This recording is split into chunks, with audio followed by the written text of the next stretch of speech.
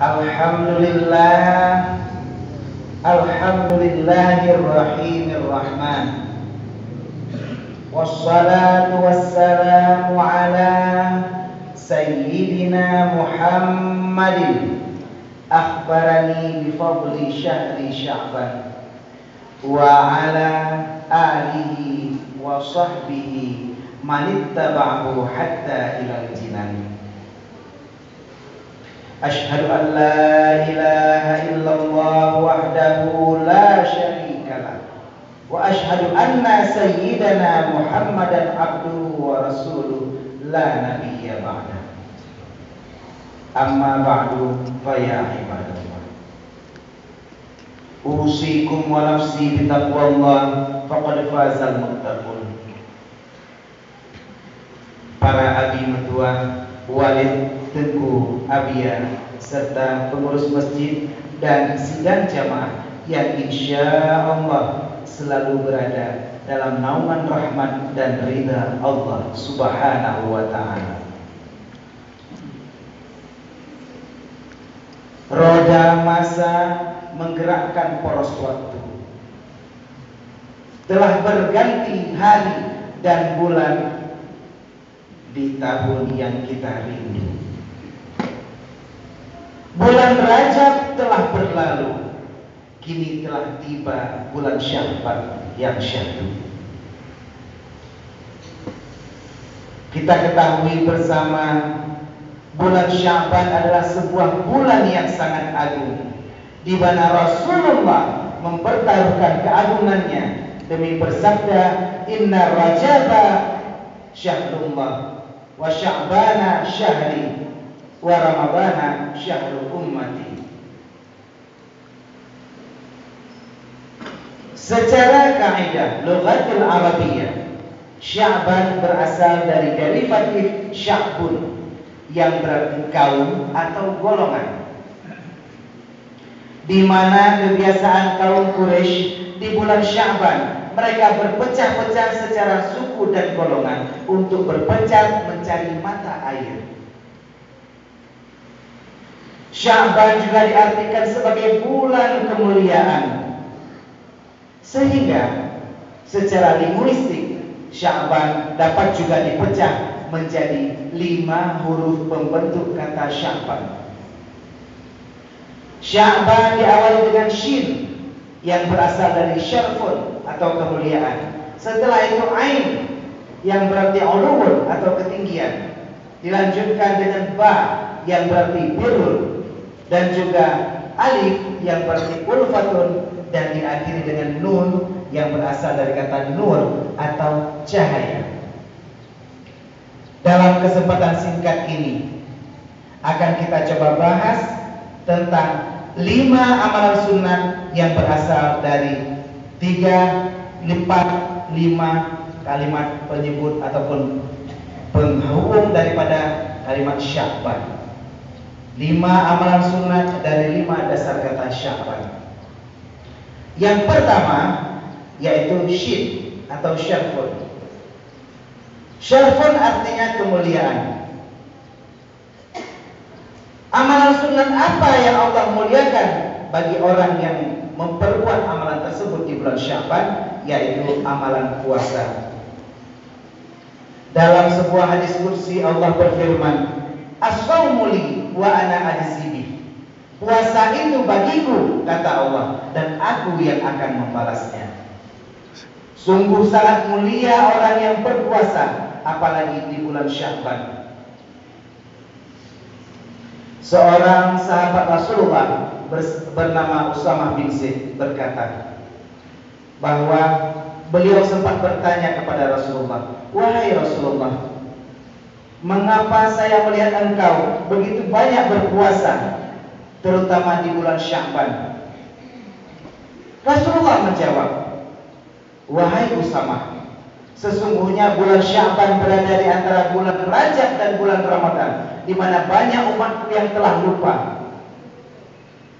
Di bulan ini Allah akan angkatkan amalan-amalan kita Sehingga aku sangat cinta Bila amalku diangkatkan, aku dalam keadaan berpuasa.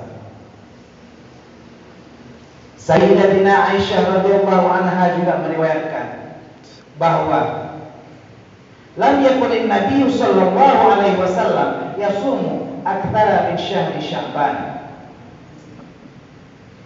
Karena Nabi sallallahu alaihi wasallam yasumu syahra Sya'ban kullah.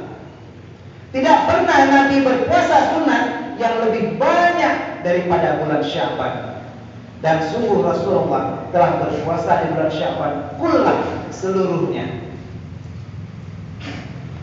Dalam kitab Fathul Bari, Ibnu Hajar Al Asqalani menjelaskan bahwa kalimat kullu di situ bermakna ba'du. Artinya Rasulullah tidak selalu berpuasa penuh, tapi kadang-kadang berpuasa sebagian besar daripada bulan Sya'ban. Beliau berpuasa di awal Sya'ban, di Senin dan Kamisnya Sya'ban, di Ayyamul Bidnya Sya'ban, maka seperti seolah-olah Rasulullah berpuasa sebulan penuh dalam bulan Syaban. Begitu banyak fadilah puasa di bulan Syaban sehingga sangat cocok dan sangat patut. Kalimat syarfun atau kemuliaan Allah tabarkan, Allah berikan bagi para hamba-hambanya yang mau melaksanakan ibadah sunnah berpuasa di bulan Syaban. Kalau ayah mertua asal syurga Allah. Yang kedua, kalimat ain atau ulul yang berarti tinggi. Masih terbayang dalam benak kita di mana seminggu yang lalu kita baru memperingati Isra dan Mi'raj. Rasulullah melakukan perjalanan yang mulia dari Masjidil Haram ke Masjidil Aqsa Seterusnya Rasulullah Mi'raj melewati Rafraful Akbar mustawa hingga ke Sidratil Muntaha. Rasulullah menjemput amalan yang paling mulia yaitu amalan sholat. Rasulullah pun pernah bersabda, "As-salatu mi'rajul mu'minin." Salat itu adalah mi'rajnya orang yang beriman di mana aku mi'raj menjemput sholat dan orang yang beriman mi'raj menghadap Allah Subhanahu wa taala. Apabila kita tidak yakin dan tidak percaya menghadap Allah, maka di sinilah fungsi ihsan. Rasulullah bersabda, "Al-ihsanu an ta'budallaha ka'annaka tarahu, fa illam takun tarahu, fa innahu yaraka." Ihsan itu adalah seolah-olah kamu beribadat, kamu melihat Allah, tapi apabila kamu tidak dapat melihat Allah, yakinlah bahwa Allah melihatmu melaksanakan ibadah. Dalam sebuah hadisnya Rasulullah bersabda, apabila tiba malam-malam Sya'ban dan terutama malam nisfu Sya'ban, berpuasalah kamu di siang harinya dan berpuas dan beribadahlah sholat kamu di malam harinya. Karena Allah akan menurunkan rahmatnya kepadamu di malam itu dan Allah memanggil para hamba-hambanya. Di mana hamba-hambaku yang berbuat dosa? Siapa yang ingin minta ampun padaku malam ini? Di mana hamba-hambaku yang ingin memohon rezeki? Siapa yang ingin meminta kepadaku malam ini? Siapa hamba-hambaku yang malam ini kepingin rahmatku kata Allah? Maka malam ini aku akan memberikan rahmatku kepadanya. Luar biasa fadilah sholat, terutama sholat malam di bulan-bulan Syaban. Sehingga pada suatu malam di bulan Sya'ban, Siti Aisyah radhiyallahu anha pernah meriwayatkan Rasulullah Shallallahu alaihi wasallam sujud dalam waktu yang sangat lama. Sampai-sampai Siti Aisyah merasakan perasaan gundah, gelisah dan juga takut. Apakah Rasulullah sudah meninggal dalam sujudnya? Sampai Siti Aisyah memberanikan diri menyentuh ibu jari Rasulullah Shallallahu Alaihi Wasallam. Baru ketika itu Rasulullah menggerakkan ibu jarinya. Begitulah pola dan tata cara ibadah sholat Rasulullah di malam bulan Syaban.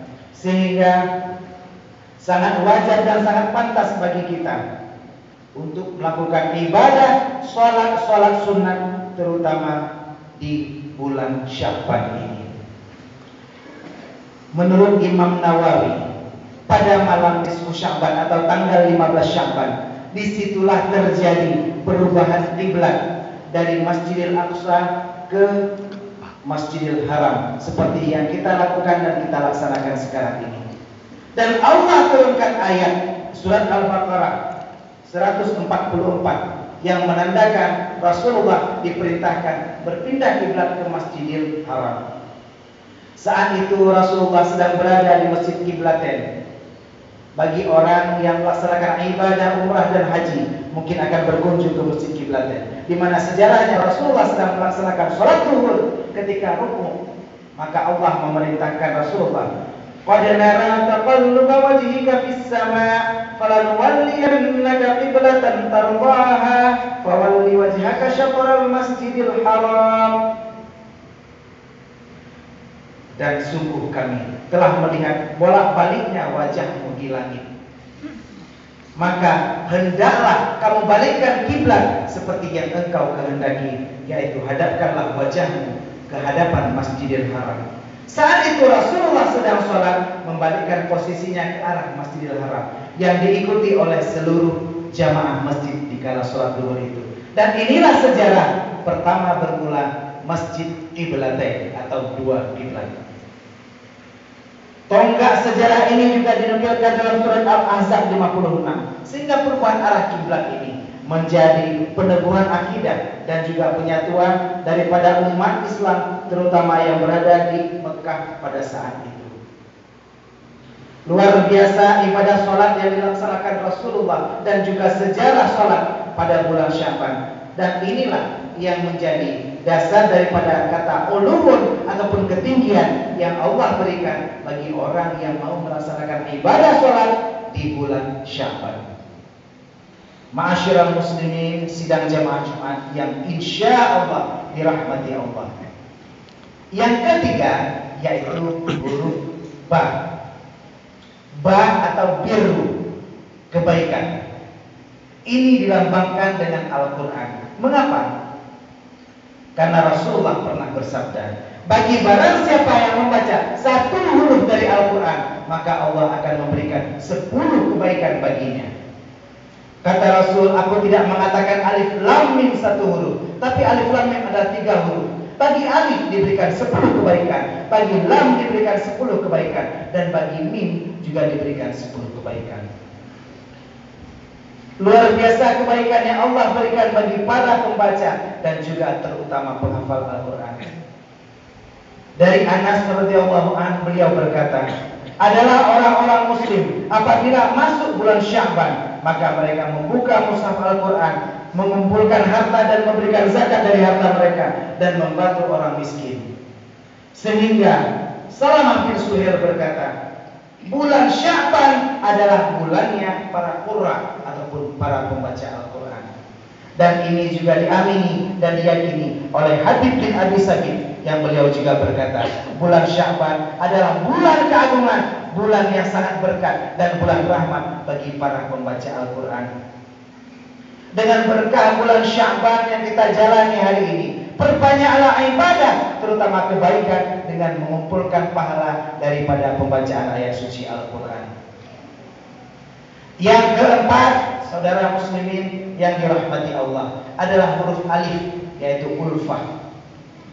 Ulfah adalah sifat kasih sayang dan tiada kasih sayang yang patut kita berikan dan kita sandingkan di bulan Syaban yang mulia ini kecuali kepada dua orang yang telah mengasihi kita dan memberikan seluruh hidupnya bagi kita yaitu kedua orang tua kita. Orang tua adalah lambang kelembutan. Orang tua adalah sumber kerinduan. Mereka ibarat samudra yang tak kenal lelah mengusap pantai. Begitu banyak kasih sayang yang orang tua curahkan kepada kita. Kita ingat jasa ibunda kita yang mengandung kita selama sembilan bulan lamanya. Sembilan bulan artinya sembilan kali tiga puluh hari kali dua puluh empat jam kali enam puluh menit. Kita menempel di rahim ibunda kita saat beliau ke pasar, kita menempel di rahim ibunda. Saat beliau pergi bekerja, kita menempel di rahim ibunda. Sampai akhirnya beliau melahirkan kita ke alam dunia dalam keadaan wahnan ala wahni. dalam keadaan kesusahan diliputi kepayahan. Terbayang jasa ibunda kita yang tidak berhenti lelahnya sampai di situ. Beliau menyusui kita wa fisaluhu fi amain dan beliau menyusui kita dalam dua tahun. Dan juga bapak kita yang membanting tulang, memeras keringat, mencari nafkah untuk kita. Sehingga tepatlah Allah berfirman, "Anishkurli wal walidai." Gunakan kesempatan di bulan Syaban ini untuk bersyukur kepada kata Allah dan kepada kedua orang tua. Tiada kasih sayang yang sangat pantas dan sangat wajar kita berikan selain kepada kedua orang tua kita di rumah, baik beliau masih hidup ataupun telah meninggalkan kita untuk selama-lamanya. Rasulullah Shallallahu Alaihi Wasallam di suatu malam Menurut cerita dari Sayyidina Ali radhiyallahu anhu, beliau keluar di malam nisfu Sya'ban dan beliau mengunjungi makam bagi bagi orang yang berkesempatan berangkat umrah ataupun haji bisa mengunjungi makam bagi di sebelah kiri makam Rasulullah Shallallahu Alaihi Wasallam di luar komplek Masjid Nabawi. Rasulullah mengunjungi makam bagi dan Rasulullah berkata, Ya Allah, ampunkanlah bagi seluruh kaum muslimin dan muslimat baik yang dikuburkan di makam baki ampunkan juga kedua orang tuaku dan ampunkan juga seluruh kaum muslimin dan muslimat dengan berkah bulan Syaban di mana pun mereka berada teteskan air mata kita gunakan kasih sayang kita tuangkan kerinduan kita di malam-malam bulan Syaban untuk orang tua yang telah menyayangi kita di waktu kita kecil. Rabbil firli wali walidayya warhamhuma kama rabbayani shaghira. Tepatlah ulfah atau kasih sayang Allah akan dicurahkan bagi orang yang mau menyayangi dan mencintai orang tuanya di bulan Sya'ban. Yang terakhir ado dan adul metuah asal syurga Allah. Yang kelima yaitu huruf nun atau nur. Nur adalah manifestasi dari cahaya. Dan ini sangat pantas disandingkan dengan ilmu. Al-ilmu nurullah wa nurullah la yuqta lil asi. Ilmu itu adalah cahaya Allah dan cahaya Allah diberikan bagi orang yang maksiat. Di samping kita, di tempat kita dan kita semua adalah para penuntut ilmu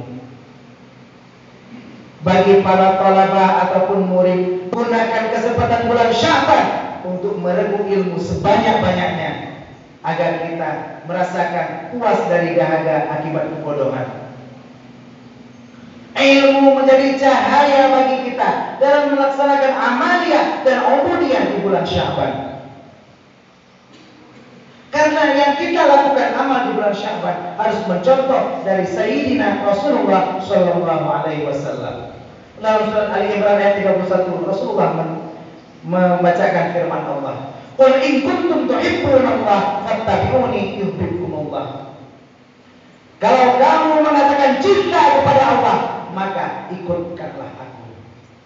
Ikutilah cara beribadahku, ikutilah cara sholatku. Sallu kama ra'aitumuni usalli. Dan tidak mungkin kita beribadah selain meniru cara yang diajarkan oleh Rasulullah Shallallahu Alaihi Wasallam. Di malam nisfu Sya'ban nantinya kita akan melaksanakan ibadah yang disunnahkan oleh Rasulullah dengan membaca Yasin tiga kali. Karena itu adalah tempat di mana amal kita dinaikkan. Rasulullah bersabda, Inna Allah la yudlimu lailatan nisfi min Sya'ban li jami'i khalqahu illa lil musyrikin aw masyahid. Sesungguhnya Allah akan melihat kepada seluruh makhluknya dengan pandangan rahmat di malam bulan Sya'ban dan dia akan mengampuni seluruh makhluknya kecuali orang yang musyrik dan orang bermusuhan. Hadis riwayat Ibnu Majah dan Tabrani. Kita gunakan malam-malam nisfu Sya'ban, kita gunakan malam-malam di Sya'ban ini untuk selalu beribadah beribadah kepada Allah dengan ilmu yang memiliki cahaya. Sehingga dalam salah satu hadisnya Rasulullah juga menegaskan, "Man aya lailatul aida ini wa lailatul nisfi min Sya'ban lam yamut qalbahu yauma tamutul qulub." Barang siapa yang menghidupkan dua malam hari raya dan malam nisfu Sya'ban, maka Allah memberikan hatinya tidak akan mati di saat hati-hati semua sedang dalam keadaan mati. Karena inilah fungsi cahaya yang Allah berikan bagi seluruh orang yang menuntut ilmu. Karena ilmu Allah adalah cahaya dan ini yang harus kita tingkatkan di dalam bulan Sya'ban yang sangat mulia ini. Demikian lima amalan sunnah yang Rasulullah ajarkan dari turunan huruf yang merangkai kata bulan Syawal. Ada syaful kemuliaan dengan berpuasa, ada ulul ketinggian dengan sholat, dan ada ba'birun dengan membaca Al-Quran, ada alif ulfatul dengan bakti kepada kedua orang tua, dan ada nur cahaya yang kita dapatkan dengan menuntut ilmu di bulan Syawal. Semoga khutbah singkat ini menjadi pelajaran bagi khatib sendiri terutama juga kepada para seluruh hadirin yang hadir pada hari ini. Dan kita akan tutup dengan dua al-khutbah. Mohon disimak demi kesempurnaan ibadah kita semua. Alhamdulillah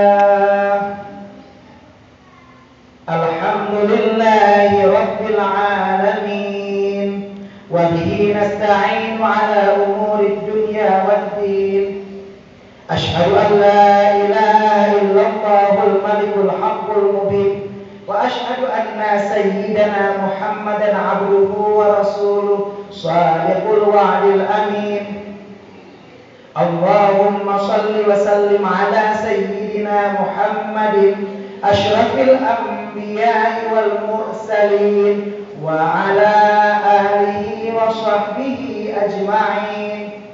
أما بعد فيا عباد الله اتقوا الله حق تقاته ولا تموتن إلا وأنتم مسلمون. وقال الله تعالى في القرآن العظيم أعوذ بالله من الشيطان الرجيم بسم الله الرحمن الرحيم قد نرى تقلب وجهك في السماء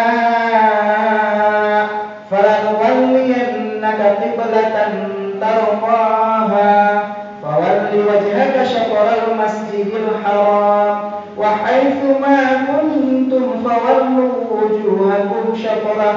وإن الذين أوتوا الكتاب ليعلمون أنه الحق من ربهم. وما الله بغافل عما يعملون.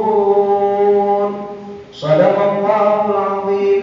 بارك الله لي ولكم في القرآن العظيم. ونفعني وإياكم بما فيه من الآيات والذكر الحكيم.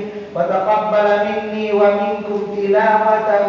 إنه هو السميع العليم.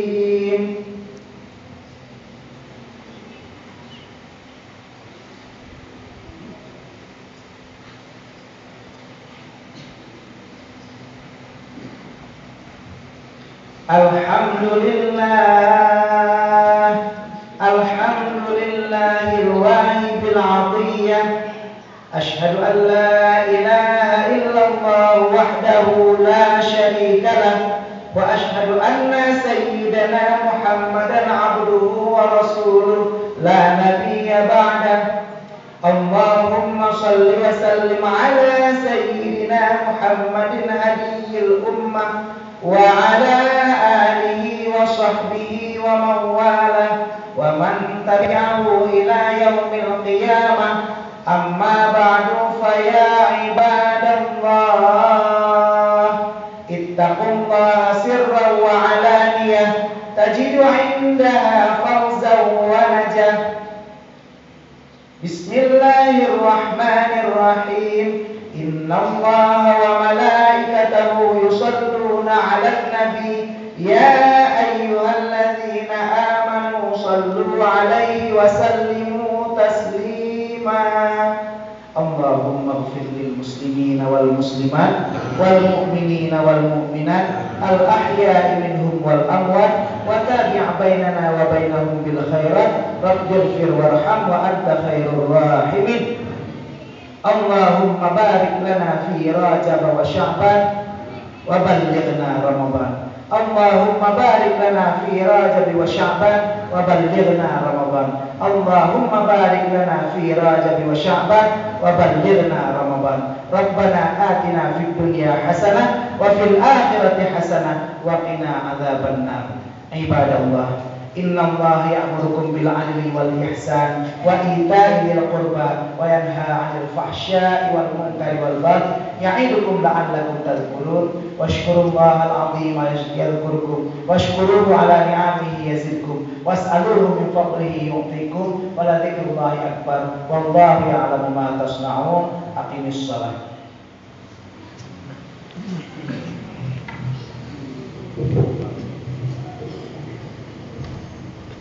الله أكبر الله أكبر